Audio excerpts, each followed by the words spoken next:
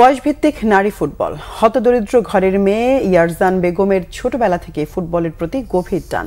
গ্রামের সামাজিক ও অর্থনৈতিক নানা বাধার মধ্যেও ফুটবল খেলা চালিয়ে গেছেন। স্কুল ফুটবল থেকে উঠে এসেছেন বাফুফের বয়সভিত্তিক দলে সেখানেও বাজিমাত। নেপালে বাংলাদেশের সাফ অনূর্ধ্ব ষোলো নারী দলের শিরোপা জয়ে ফাইনালে অসামান্য অবদান রেখেছেন এই গোলরক্ষক। পঞ্চগড় থেকে মোশারফ হোসেনের পাঠানো তথ্য ছবি নিয়ে স্পোর্টস ডেস্ক রিপোর্ট।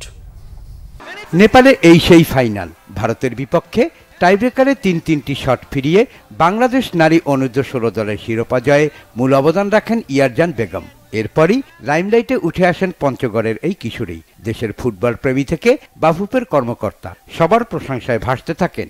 শিরোপা জয়ের আনন্দে ভেসেছে ইয়ারজানের পরিবার সহ এলাকার মানুষ। প্রতিবেশীরা একে অন্যকে মিষ্টি খাইয়েছেন।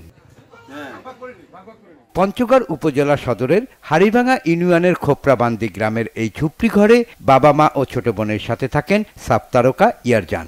অভাবের সংসারে দুই বেলা খাবার জুটত না। অসুস্থ বাবা আব্দুর রাজ্জাক কাজ করতে পারেন না। অন্যের জমিতে দেড় থেকে দুশো টাকা মজুরিতে সংসার চালান মা রেনু বেগম। না খাই তো কোনোদিন আমি পাঁচ টাকা, তাকে আমি বলতে পারি নাই, তুমি যায় তুমি পাঁচ টাকা দিয়ে কোনো নাস্তা করি। কোনোদিনও আমি দিতে পারিনি তাকে এরকম করে গেতো আইতো। আমি মনে মনে অনেক চিন্তা করতাম মানুষের বাচ্চা কত সুন্দর করে প্র্যাকটিস করে বা খায় টাকা দেয় আর আমি তো দিতে পারি না। অনেক মানুষ অনেক কথা বলতো ছেলে মেয়ের কামাই খায় মেয়ের সাথে মেয়েকে খেলতে দিছে। আমি কিছু মনে করতাম না কাউকে আমি কিছুই বলতাম না। প্রত্যন্ত এলাকার গরিব ঘরের মেয়ের ফুটবল খেলা বাঁকা চোখেও দেখতেন কেউ কেউ। কালকের খেলা দেখার পরে আমরা খুব আনন্দিত আমাদের বাড়ির সবাই খুব খুশি ওর খেলা দেখে। তার যে চেষ্টাটা এই চেষ্টার প্রতিফলনে আজকে আমাদের মেয়ে আমাদের হারিবাসার নাম আমাদের পঞ্চগড় জেলার নাম সারা বাংলাদেশে উজ্জ্বল করছে।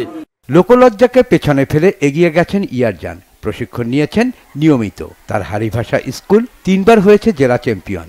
তার জীবনটা গড়ার জন্য সে অনেক কষ্ট করছে। তারপরে যে মানুষের গ্রামের মানুষের যে কত কথা শুনতে হয়েছে তাকে কারণ গ্রামের মানুষের হচ্ছে যে তারা গ্রামের মেয়েদেরকে ফুটবলটাকে অন্য চোখে দেখে। ক্লাস সিক্সে এডমিশন হওয়ার পরেই তার খেলাধুলার প্রতি বিশেষ একটা আগ্রহ আমরা লক্ষ্য করি এবং প্রায় সময় সে খেলাধুলায় অংশগ্রহণ করে এবং খুবই সে আন্তরিক খেলাধুলা বিষয়ে। সাফ সাফল্যে ইয়ারজানের পরিচিতি পঞ্চগড় ছাড়িয়ে গোটা দেশে ছড়িয়ে পড়েছে।